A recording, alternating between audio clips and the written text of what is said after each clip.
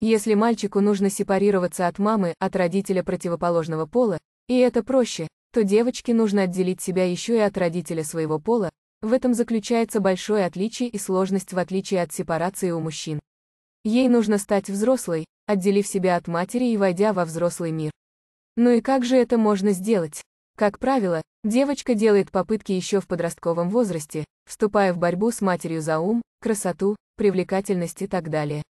Если мама не даст понять дочери, что она, дочь, умнее, красивее, талантливее, успешнее, а наоборот включается в конкуренцию с дочерью, то шансы сепарироваться у девочки минимальны такая мать сурово карает за попытки бороться с ней и показывает дочери, что она ничто в сравнении с ней, пустое место, что она ничего не знает, ничего не умеет, и самое страшное, когда мать еще и внешность дочери обесценивает, чтобы окончательно победить ее она докажет дочери, что без материнских советов и замечаний дочь не справится в жизни ни с чем, что она не состоится без матери.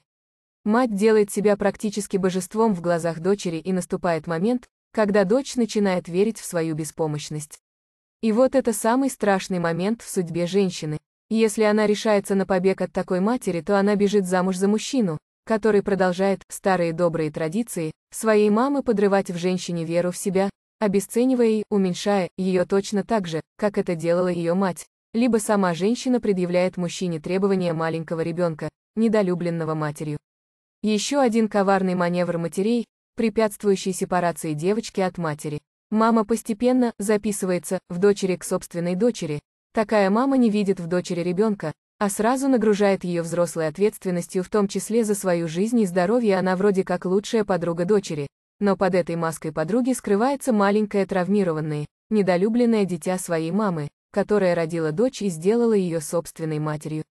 И такая женщина, удочерившая собственную мать, будет привязана чувствами вины и страха потери к матери, и это большая ловушка для девочки, из которой выбраться поможет лишь повышение здоровой агрессивности и построение опять же тех самых пресловутых границ с матерью.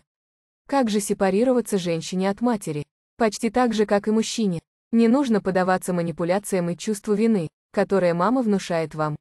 Стройте с мамой границы, говорите слово «нет» и «стоп».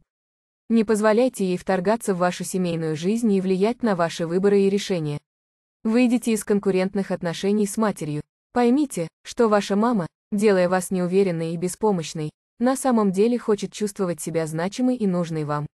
Если получится у вас стройте границы и грузите маму разными заданиями, чтобы она чувствовала свою важность и ценность для вас. К примеру, свяжи мне мама на зиму носки, забери из химчистки мое платье, да что угодно, Главное, чтобы вы мама не грузила вас и при этом была в пределе, как говорится. И хвалите ее за ее помощь вам. Но ни в коем случае не давайте вторгаться в вашу взрослую жизнь. Ставьте лайки, подписывайтесь на канал. Всем пока!